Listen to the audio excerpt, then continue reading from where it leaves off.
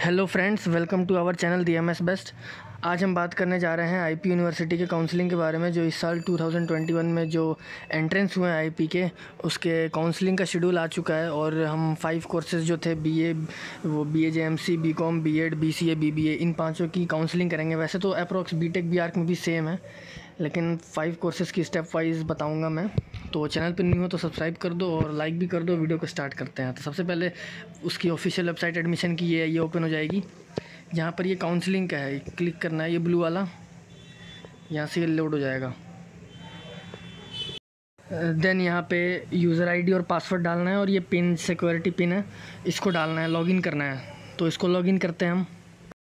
Then login करने के बाद ऐसे ओपन हो जाएगा तो सबसे पहले जो बीबीए का बता रहा हूँ मैं स्टेप वाइज तो वैसे B B A B C A B com सबका सेम ही है, ये बी बी एंड इस पर क्लिक करना है क्लिक हेयर टू प्रोसीड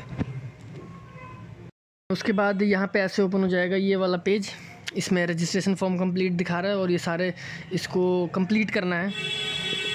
तो सबसे पहले अब हम स्टार्ट करते हैं स्टेप वाइज इसको स्टेप वाइज फिल करना है कैंडिडेट नेम है, फिर उसके बाद फादर्स नेम फिर मदर नेम फिर डीओबी जो पहले डेट फिर मंथ फिर ईयर फिर ये जेंडर डालना है। नेशनलिटी इंडियन एंड ये है region from where qualifying exam has been appeared मतलब कि कहाँ से ट्वेल्थ किया है? अदर दिल्ली या फिर आउटसाइड दिल्ली तो इसमें दिल्ली एन कर देना है, जो दिल्ली से और जो अदर स्टेट के उधर कर देना। रिलीजन जो भी रिलीजन है आपका, चाहे हिंदुज़म या जो भी। एंड कैटेगरी अगर जनरल है तो जन जनरल और जो भी कैटेगरी है इसके अंदर जो भी आप जिसमें आते हो कर सकते हैं। उसके बाद आर्मी पर्सनल, अगर हैं तो यस, नहीं तो नो। और कोई सब कैटेगरी अगर एप्लीकेबल है या फिर नॉट एप्लीकेबल, जिसमें भी आते हैं, defence personnel no Jammu and Kashmir migrant, physically handicap no, कोई विजिबल मार्क हो अगर तो वो डालना है और यहाँ पर बैंक डिटेल डालना है। ये रिफ़ंडेबल के लिए फ़ी रिफ़ंड करने के लिए होता है। अब अपना या फिर अपने पेरेंट्स का बैंक अकाउंट का डिटेल डालना है। तो अकाउंट होल्डर नेम डालना है अकाउंट नंबर डालना है और फिर उसके बाद अगेन कंफर्म करना है अकाउंट नंबर फिर आईएफएससी कोड बैंक नेम और बैंक ब्रांच डालना है। ये इसलिए होता है कि जैसे seat acceptance fees forty thousand होती है ना, अगर फिर अगर किसी को एडमिशन नहीं लेना कैंसिल करवाना है तो वो फ़ी रिफ़ंड हो जाती है इसी अकाउंट में। इसीलिए देते हैं। तो चलते हैं अपने नेक्स्ट स्टेप की तरफ़। जो नेक्स्ट प्रोसेस है, ये जो अब से पहले किया था हमने व्यू एडिट एप्लीकेशन डिटेल अब इसके बाद कॉन्टैक्ट डिटेल है। ये यहाँ पे एड्रेस डालना है घर का प्रेमिस नंबर सब लोकेलिटी डालना है यहाँ पे यहाँ पे लोग टाउन विलेज डालना है। ये स्टेट दिल्ली एन अगर जो अदर स्टेट का है यूपी बिहार राजस्थान जो भी वहाँ का डाल दे। और जो पिन कोड है वहाँ का कंट्री इंडिया और डिस्ट्रिक्ट जो भी है वहाँ का। और फिर सेम एस कोरस्पॉन्ड एड्रेस कर देना है यहाँ पे ब्लू टिक फिर सेव एंड नेक्स्ट कर देना है, फिर आगे के चलते हैं प्रोसेस में। अब उसके बाद जो नेक्स्ट प्रोसेस है, ये है क्वालिफाइंग एग्ज़ाम डिटेल जो लास्ट क्वालिफाई जो लास्ट स्टडी की है, उसकी डिटेल्स डालनी है। चाहे अगर वो मास्टर्स की काउंसलिंग है तो लास्ट ग्रेजुएशन कहाँ से की है, उसकी डिटेल और अगर ग्रेजुएशन के लिए है, जैसे B B A B C A तो लास्ट ट्वेल्थ कहाँ से की है, उसकी डिटेल तो सब पास हो गए। जो अपियरिंग के वैसे तो सब पास हो गए, इस बार तो पास जिस ईयर में पास हुए, कुछ ड्रॉपर्स भी होते हैं 2021 यहाँ पर अपने ट्वेल्थ का रोल नंबर डालना है।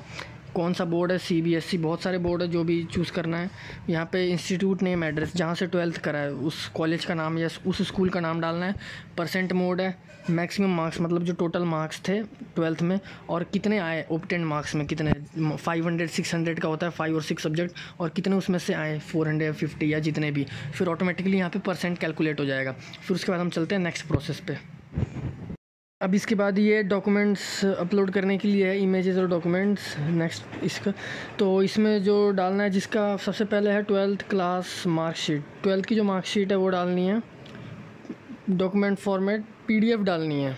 फ़ोटो नहीं डालनी पीडीएफ डालनी है file minimum fifty K B होनी चाहिए और मैक्सिमम थ्री हंड्रेड से ज़्यादा नहीं होनी चाहिए के बी से। और अगर जो अपियरिंग है, वैसे अपियरिंग का तो कोई है नहीं, लेकिन अगर कोई अपियरिंग का है तो वो कोई प्रूफ डाल दे, अपना एडमिट कार्ड डाल दे। पीडीएफ वो फ़ाइल बनाकर।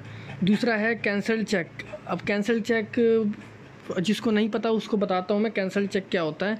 अब मैं उसको बताऊँगा कैंसल चेक क्या होता है, जिसको नहीं पता।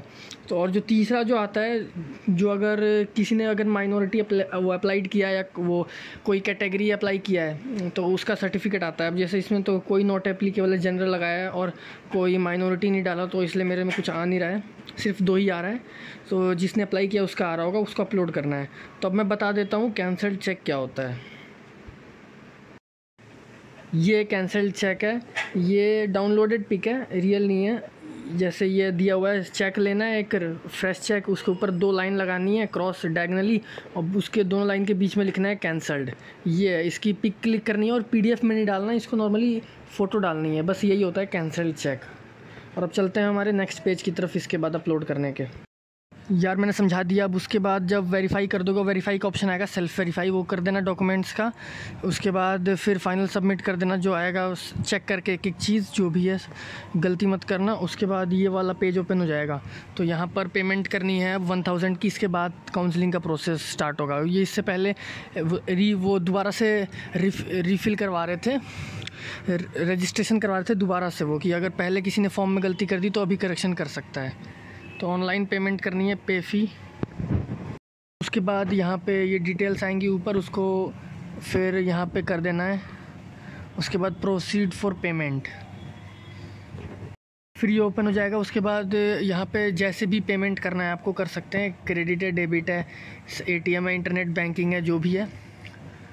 तो इसके बाद पेमेंट करने के बाद स्टार्ट होगी। तो हम पेमेंट कर लेते हैं अब। पेमेंट करने के बाद ऐसा ऑप्शन आएगा, फिर गो बैक कर देना है। इसके बाद फाइनली ये आ जाएगा, ये ओपन हो हो जाएगा, फिर पेमेंट देने के बाद, फिर इसके बाद कोई ऑप्शन क्लिक हो नहीं रहा है अभी। जैसे अवेलेबल चॉइसेस पर क्लिक करते हैं तो उस पर लोड नहीं हो रहा चॉइस फिलिंग पे भी नहीं हो रहा सीट अलॉटमेंट रिज़ल्ट पे भी नहीं हो रहा, किसी पे भी नहीं हो रहा तो अभी ऑप्शन आया नहीं हुआ है। जल्दी ही आ जाएगा और रिज़ल्ट भी अभी तक नहीं आया रिज़ल्ट भी आ जाना चाहिए अभी तक तो। तो ये थी हमारी स्टेप वाइज सारी प्रोसेस इसके आगे की प्रोसेस भी हम लेकर आ जाएँगे, जो स्टेप वाइज चॉइस फिलिंग करनी होगी किस कॉलेज को ऊपर रखना है, फिर उसके बाद कौन सी रखनी है। उसके लिए फिर लाइक कर दो हमारी वीडियो को, और नहीं हो तो सब्सक्राइब कर दो शेयर भी कर दो, और मिलते हैं हमारी अगली वीडियो में।